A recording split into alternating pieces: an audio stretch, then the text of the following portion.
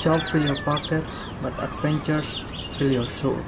A couple months ago, I just arrived in Banyuwangi, Indonesia from my daily routine in Miami, and I decided to make little adventure with my girlfriend. And